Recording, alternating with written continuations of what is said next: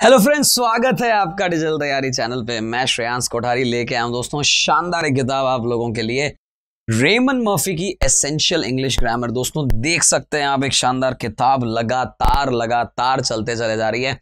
Ending के नज़दीक पहुँच गए हैं दोस्तों। One one one triple one पर पहुँच गए हैं। लगातार आपके साथ बने हैं, आप भी हमारे साथ बने हैं। दोस्तों, सीधा लिए चलता हूँ unit one one one. If we go if you see etcetera Hindi में कहते हैं, यदि हिंदी में कहते हैं, अगर अगर तुम ना होते, अगर मैं ना होता, अगर ऐसा होता। अगर यानी कोई कंडीशन की बात हो रही है कि ऐसा अगर हो जाए तो ऐसा हो जाए समथिंग लाइक दैट उसको कैसे प्रयोग करना है, क्या करना है, इसे प्यार से छोटा मोटा कंडीशनल सेंटेंस कह देते हैं। मैं छोटा मोटा इसलिए बोला दोस्तों, क्योंकि देखो, यह जो किताब है ना एक्चुअली चैप्टर के नाम को जो बड़ा इंग्लिश का टेक्निकल नाम है उसको छोड़ के इतना सिंपल तरीके से किताब पढ़ा रही है और इसका जो इंडेक्स है, बहुत क्लियरली मेंशन है if I go if I do if I something या जो भी आपको देना है, आप अपने वाक्यों में उसे कैसे प्रयोग करेंगे? स्ट्रेट फॉरवर्ड मज़ा ही आ जाएगा आप लोगों को यह समझ के। दोस्तों शैल वी गो बाय बस और टैक्सी क्या हम बस पकड़ें? क्या हम टैक्सी पकड़ें? तो ये कहती है लड़की if we go by bus it will be cheaper सस्ता पड़ेगा मेरे भाई, सस्ता पड़ेगा। अगर हम बस से जाएँगे तो सस्ता पड़ेगा। If we we will get there हम मोर क्विकली हम जल्दी पहुँच जाएँगे। अगर हम टैक्सी से जाएँगे। नोट करने वाली बात क्या है दोस्तों? कहानी की शुरुआत इफ़ से हुई। इफ़ कहानी के बीच में आया। इसने अपना वाक्य बोला, इसने अपना वाक्य बोला। दोनों ने अपने अपने वाक्य को इसके क्वेश्चन के साथ कनेक्ट किया। अगर हम बस से जाते हैं तो सस्ता पड़ेगा। हम जल्दी पहुँच जाएँगे अगर हम टैक्सी से जाएँगे। क्या ये बात समझ आ रही है आप लोगों को? अगर का प्रयोग सेंटेंस की शुरुआत में कर सकते हो, बीच में कर सकते हो अपने मीनिंग को समझाने के लिए। कंडीशन अप्लाइड अगर ऐसा होगा तो ऐसा होगा, अगर ऐसा होगा तो ऐसा होगा। कुछ और एग्ज़ाम्पल हम देखते हैं, मज़ा आ जाएगा। पहली लाइन ही ये लिखा हुआ है। If can be use at the beginning of the sentence और इन द मिडल भाई, बीच में भी प्रयोग कर सकते हैं इसका, शुरुआत में भी प्रयोग कर सकते हैं इसका, कोई आपत्ति नहीं है, किसी को भी नहीं है मेरे भाई। Example if if at the beginning if we go by bus it will be cheaper अगर हम बस से जाते हैं तो सस्ता पड़ेगा। इफ़ यू डोंट हरी अगर तुम जल्दी नहीं करते हो you will miss the train train चली जाएगी, मेरे दोस्त. इफ़ यू आर हंग्री अगर तुम भूखे हो हैव समथिंग टू ईट कुछ खा लो मेरे भाई. इफ़ द फ़ोन रिंग्स अगर घंटी बजी can you answer it please क्या तुम उसको आंसर दे दोगे? इसी को उल्टा करा हमने. ये सारे के सारे वाक्य जो यहाँ पड़े, इसके उल्टे हमने लिखे.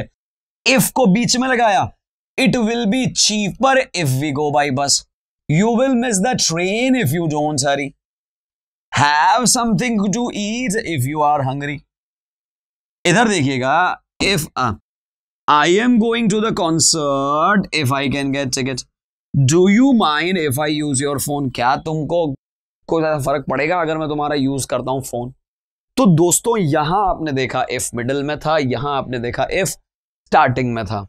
कुछ और चीज़ें आपको समझनी है। इन द कॉन्वर्जेशन बातचीत में टॉकिंग करते वक्त, मैं आपसे कुछ बात कर रहा हूँ तो हम कह सकते हैं we use often if part of the sentence alone if वाला पोर्शन ही लेने की ज़रूरत है, बाकी वाले पोर्शन को लेते नहीं है, क्योंकि वो अंडरस्टूड है। हो जाएगा ऐसा अगर, जैसे for example are you going to concert क्या तुम कॉन्सर्ट जा रहे हो? Yes if I can get a ticket उसने इतना सही बोला। आगे बोलने की ज़रूरत नहीं पड़ी। If I can get a ticket I am going to the concert क्या तुम कॉन्सर्ट पे जा रहे हो? ये सवाल हो गया। हाँ अगर टिकट मिली तो। खत्म। यानी अधूरा इफ़ भी कॉन्वर्जेशन में, बातचीत में आ सकता है, क्योंकि पिछला वाला पार्ट जो आगे जो पार्ट लगाना है, वो अंडरस्टूड है, मालूम है, वो ऐसा ही होगा। चलिए थोड़ा और आगे समझते हैं। कुछ और चीज़ों को समझते हैं इफ़ के कंडीशन में क्या होता है। If you see Ann tomorrow अगर तुम्हें एन दिखे कल, अगर दिखे कल फ्यूचर की बात है, यानी टाइम फ्यूचर का है। क्या टेंस भी फ्यूचर का है? बस वही देखना है हमें। आफ्टर इफ़ इफ़ के बाद we use the present not will we से if you see if you will see नहीं आएगा। मतलब मैं क्या कहना चाह रहा था? टाइम कंडीशन की फ्यूचर की है। वापस सुनिए। टाइम फ्यूचर का है। आने वाले बात का समय है। लेकिन टेंस प्रेजेंट का ही होगा इफ़ के साथ। इफ़ के साथ आपको फ्यूचर लेना ही नहीं है। एरर है, गलत है, जिस भी भाषा में समझें, बहुत बड़ी गलती है। इफ़ वाले पोर्शन में फ्यूचर टेंस नहीं आना चाहिए। इफ़ वाले पोर्शन में प्रेजेंट आना चाहिए। If you see Ann tomorrow अगर तुम्हें एनकन मिली can you ask her to phone me क्या तुम उसे बोल दोगे कि मुझे बात कर ले? If I am late this evening अगर मैं लेट होता हूँ डोंट वेट फॉर मी अरे लेट हो तो वेट मत करना। ऐसा मत लगा तो if you will be late if I will be का प्रयोग नहीं करेंगे इफ़ आई गेट लेट बस सिंपल जैसे what shall we do if it rains if it will rain वैसे तो फ्यूचर में होगी, लेकिन आपको ये याद रखना है इफ़ वाले पोर्शन में विल नहीं लगाना है। इफ़ वाले पोर्शन में विल नहीं लगाना है। रिपीट करिए मेरे साथ इफ़ वाले पोर्शन में विल नहीं लगाना है। If it rains not if it will rain if I don't feel well tomorrow अगर मुझे कल अच्छा नहीं लगता I will stay at home मैं होम यानी घर पे ही रुकूँगा। आगे देखते हैं दोस्तों इफ़ और वेन में क्या डिफरेंस है। पहले तो सेंटेंस यहाँ जो लिखा है एग्ज़ाम्पल के। Are you going out later क्या तुम लेट जा रहे हो? अभी देखते हैं क्या कहना चाह रही हैं। यहाँ पे हम देखें इफ़ और वेन में डिफरेंस क्या है? इफ़ आई गो आउट ये सेंटेंस का मतलब है it is possible that I will go out but I am not sure अगर मैं बाहर जाता हूँ, यानी मेरे को कंफर्म नहीं है यार, मैं शायद जा भी सकता हूँ, नहीं भी जा सकता हूँ। देखेंगे, अगर ऐसा होगा तो देखेंगे, अभी फाइनल नहीं है। यानी कि are you going out later उसने कहा ना, क्या तुम बाहर जाओगे? पर शायद। But if I go out अगर मैं गया, मैं दरवाज़ा बंद कर दूँगा, खिड़कियाँ बंद कर दूँगा। कब? अगर मैं गया तब। अभी कंफर्म नहीं है। अगर अगर यानी इफ़ की कंडीशन है। वेन आई गो आउट जब मैं बाहर जाऊँगा, यानी ये तो मैंने ही रखा है, जाना है। जाना है, जब भी जाऊँगा, ऐसा कर लूँगा। अभी फाइन जाना है, ये पक्का है। कब जाऊँगा, ये नहीं। I am going out for sure confirm है। Are you going out later क्या तुम बाद में जा रहे हो? यस आई एम उसने था पर यानी शायद इसने कहा I yes I am when I go out I close the window मैं जब भी जाऊँगा, दरवाज़ा बंद कर लूँगा। अगर गया तो बंद करूँगा। दोनों में डिफरेंस समझ आया आप? यही आपको समझना था। कुछ और इसके इफ़ और वेन के एग्ज़ाम्पल आप देखें दोस्तों। और ध्यान रहे कि इफ़ और वेन दोनों में ही हमें वो नहीं लगाना है, जो मैंने कहा आपको फ्यूचर का टेंस प्रेजेंट का लगेगा। वेन आई गेट होम जब मैं घर पहुंचूँगा इस evening I am going to have a shower जब भी मैं पहुंचूँगा शावर लूँगा। ऐसा नहीं कि अगर मैं घर पहुँच, अरे, अगर क्या, घर तो जाना ही है ना मेरे भाई। If I am late this evening अगर मैं लेट हो गया don't wait for me wait मत करना यार लेट हो जाऊँगा भैया। क्या we are going to play tennis हम टेनिस खेलने जा रहे हैं इफ़ इट डजेंट रेन अगर रेन नहीं हो तो ऐसा डाउटफुल है। ऐसा नहीं कि when it is not if it is not मतलब अगर बारिश नहीं होती है तो। कंडीशन पे है। तो आपने वेन और इफ़ का बहुत क्लियरली यहाँ डिफरेंस समझा है दोस्तों। सीधा लिए चलता हूँ आपको एक्सरसाइज दोस्तों, आपको क्या करना है? सेंटेंस बनाने हैं। इफ़ से शुरू करना है और अलग अलग सेंटेंसेस को जोड़ना है। If you don't hurry you will be late अगर तुम जल्दी नहीं करोगे तो लेट हो जाओगे। कुछ नहीं करना है दोस्तों। इन दोनों को कनेक्ट करना है। स्टार्टिंग में इफ़ लगाना है। That's it simple exercise if you pass the exam अगर तुमने एग्ज़ाम पास कर दिया you can have lunch now अभी तुम लंच कर सकते हो, बड़ा अजीब सा लग रहा है। यू कैन हैव देम तो तुम उसको ले सकते हो। You can lend you some मैं तुम्हें कुछ दे दूँगा। You will get a certificate तुम्हें सर्टिफिकेट मिल जाएगा। आई थ्रो इट अवे मैं फेंक दूँगा बाहर। वी कैन टॉक लेटर हम बाद में बात कर सकते हैं। You can do it again तुम वापस कर सकते हो। If you pass the exam अगर तुम एग्ज़ाम पास करोगे, तुम्हें एक सर्टिफिकेट मिल जाएगा you will get get a certificate simple है ना? तुम एग्ज़ाम पास करोगे अगर, तुम्हें क्या मिलेगा? एक सर्टिफिकेट मिल जाएगा. You fail the exam if you fail the exam अगर तुमने एग्ज़ाम फेल कर दिया तो क्या होगा? तो आई थ्रो इट अवे ना. We can chalk later you can do it again if you fail the exam you can do it again तुम उसे फिर कर सकते हो. फिर एक बार ट्राई कर लेना. इसको मैं अभी सर्कल में डाल रहा हूँ। आगे क्या पता किसी और के साथ सेट हो जाए। If you don't want this magazine अगर तुम्हें ये मैगजीन नहीं चाहिए तो क्या करोगे? फेंक देना भैया। मैंने कब मना किया अगर तुम्हें नहीं चाहिए थ्रो इट अवे फेंक देना। If you want those pictures अगर तुम्हें वो पिक्चर चाहिए यू कैन हैव देम तुम ले लो। अरे तुमको ये पिक्चर चाहिए क्या? अगर तुम्हें ये पिक्चर चाहिए तो ले लो, खत्म बात। If you are busy now अगर तुम अभी बिज़ी हो तो वी कैन टॉक लेटर हम बाद में बात कर लेंगे भाई। अभी कौन सा अर्जेंट है? बाद में बात कर लेंगे। इफ़ यू आर हंग्री तुम अगर हंग्री हो, भूखे हो we can have lunch now अब भी खाना खा लेते मेरे दोस्त। If you need some money अगर तुम्हें पैसा चाहिए, मैं दे देता हूँ तुम्हें पैसा।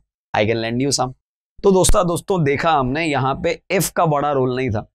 इफ़ को समझाने का तरीका था कि आप सेंटेंसेस कनेक्ट कर पा रहे हैं क्या? आप लॉजिकली सेंटेंस को समझ पा रहे हैं क्या? यही समझाया था। अब हमें देखना है दोस्तों, सही कौन सा है? इफ़ वाले पोर्शन में आपको फ्यूचर टेंस नहीं लगाना है, बस यही सही दिमाग में रखना है। यही सबसे इंपॉर्टेंट है। If I am late this evening don't wait for me I am is right will you write to me क्या तुम मुझे लिखोगे? If I give you my address अगर मैं तुम्हें मेरा एड्रेस देता हूँ इफ़ के साथ विल नहीं आना है क्लियर है आपको। अगर मैं तुम्हें मेरा एड्रेस देता हूँ, क्या तुम लिख सकते हो मुझे? मतलब लेटर लिखने की बात हो रही है। इफ़ देयर इफ़ आ गया तो विल भी नहीं आएगा। If there is a fire अगर आग लग जाए the alarm will ring alarm जो है, बज उठेगी। नोट करना दोस्तों इफ़ वाले पोर्शन में विल नहीं है, दूसरे वाले में आ सकता है, कोई दिक्कत नहीं है। If there is a fire अगर फायर है अलार्म बोल उठेगी will ring if I don't see you tomorrow morning अगर मैं तुम्हें कल नहीं देखता हूँ tomorrow morning I will phone दूसरे वाले पोर्शन में विल आ सकता है, कोई आपत्ति नहीं है। मैं तुम्हें नहीं देखता हूँ तो फ़ोन कर दूँगा मेरे भाई। आई एम सरप्राइज़ की जगह आई विल बी सरप्राइज़ हो जाएगा। क्यों दोस्तों? क्योंकि इफ़ से पहले वाले पोर्शन में इफ़ के दूसरे वाले पोर्शन में तो विल आ सकता है। इफ़ वाले में नहीं आ सकता है तो यहाँ नहीं आएगा। मतलब आई विल बी सरप्राइज़ मैं बहुत ही आश्चर्यचकित होऊँगा। अगर मार्टिन और जूलिया दोनों शादी कर लेते हैं विल यू गो आउट ध्यान से देखिएगा हम क्या कहना चाह रहे हैं। डू यू नहीं आएगा? Will you go go to the party अगर ऐसा हुआ तो। ध्यान से दोनों देखना। पहले वाले पोर्शन है। इफ़ से अलग जो दूसरा वाला पोर्शन है, उसमें तो विल आएगा। कोई दिक्कत नहीं है। क्या तुम ऐसा करोगे? इफ़ इफ़ वाले पोर्शन में विल नहीं आएगा इफ़ दे इनवाइट अगर तुम्हें इनवाइट करेंगे पार्टी में तो तुम जाओगे क्या? दूसरे वाले पोर्शन में विल चलेगा इफ़ वाले पोर्शन में विल नहीं चलेगा। थोड़ा और आगे बढ़े दोस्तों। Use your own ideas to complete the sentences अपने आइडियाज़ लगाइए। कैसे? I am going to the concert मैं कॉन्सर्ट में जा रहा हूँ if I can get a ticket दोस्तों, मुझे क्या लगता है ये, और आपको भी ऐसा लग गया होगा कि ये तो होमवर्क है, आप ही को करना है, मुझे तो करना ही नहीं है। मैं सिर्फ़ इतना चाह रहा हूँ, अपने आइडियाज़ योर ओन आइडियाज़ आपकी बात कर रहा है, मेरी बात नहीं कर रहा है अपने आइडियाज़ लिखिए कि आप अगर ऐसा होता तो क्या होता, अगर ऐसा होता तो क्या होता। ये आपको करना है, ये अगर वाली कंडीशन और ज़्यादा नहीं दोस्तों, छह सेंटेंसेस हैं होमवर्क में कोई बड़ी बात नहीं है। प्लीज़ प्लीज़ प्लीज़ ज़रूर कहूँगा प्लीज़ आप होमवर्क ज़रूर करें। इंग्लिश इंप्रूव हो रही है कि नहीं हो रही है? उसका मापदंड क्या है? उसका मापदंड यही है।